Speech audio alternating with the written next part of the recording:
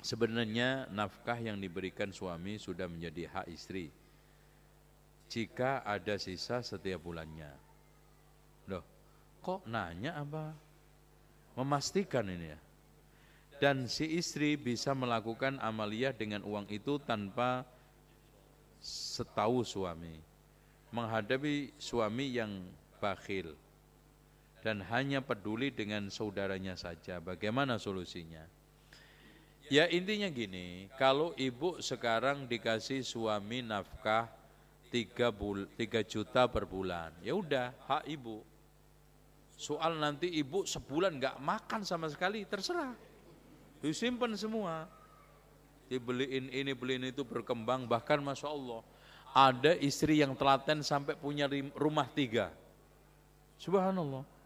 Dikasih suami, tapi sedikit-sedikit sekali-kali nyolong ada, itu bisa rumahnya berkembang. Jadi rumah kecil kontrakan, jadi gede, jadi gede. Masya Allah, telaten. Tapi ya sebagian pasti ada Spanyol, separuhnya enggak, enggak jelas. Ya izin ngomong sama suaminya mas, ini sebagiannya sebetulnya dulu, sebagiannya begini-begini, gimana ikhlas enggak? Ya kalau udah ikhlas, Alhamdulillah.